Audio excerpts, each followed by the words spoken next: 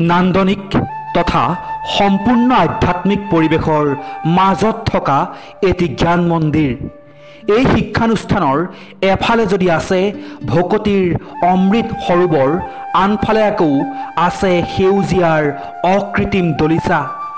আনতকৈ বহু পৃথক ব্যতিক্ৰম এই শিক্ষানুষ্ঠানভাগী যোৰহাট টিয়কস্থিত আউনীআটী সত্ৰৰ পবিত্ৰ চৌহদৰ ভিতৰত অংকুৰিত হোৱা জ্ঞান বৃক্ষৰ এই বীজটিক লৈ আশাবাদী শিক্ষক শিক্ষাৰ্থী তথা জ্ঞানৰ প্ৰতিজন সাধক।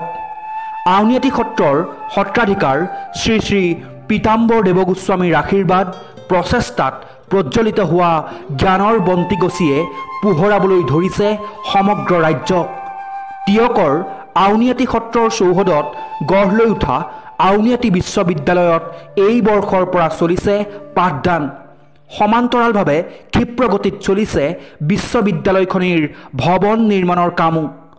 বিশ্ববিদ্যালয়খনিৰ ভাৰপ্ৰাপ্ত উপাচাৰ্য বিশিষ্ট শিক্ষাবিদ প্ৰকাশ বৰঠাকুৰে জানিবলৈ দিয়ে যে বৰ্তমান একাৱন্নজন শিক্ষাৰ্থীয়ে নৃত্য গীত লোকবাদ্যৰ পাঠ্যক্ৰমত নামভৰ্তি কৰিছে।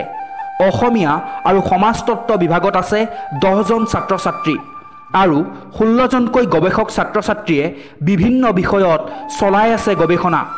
বিশ্ববিদ্যালয়খনিৰ আচাৰ্যৰ মহান আসন অলংকৃত কৰিছে আউনীআটী সত্ৰৰ সত্ৰাধিকাৰ শ্ৰী শ্ৰী পীতাম্বৰ দেৱগোস্বামীয়ে। আধ্যাত্মিকতা অধ্যয়ন জ্ঞান স্বচ্ছতা আৰু সেউজীয়াৰ সমাহাৰেৰে ৰাজ্যৰ শৈক্ষিক সমাজত ন ৰূপেৰে উজলি উঠিছে আউনীআটী বিশ্ববিদ্যালয়।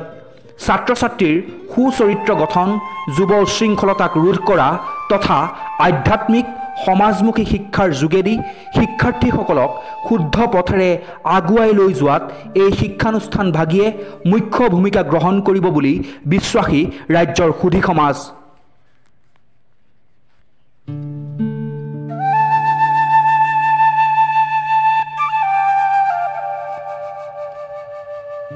you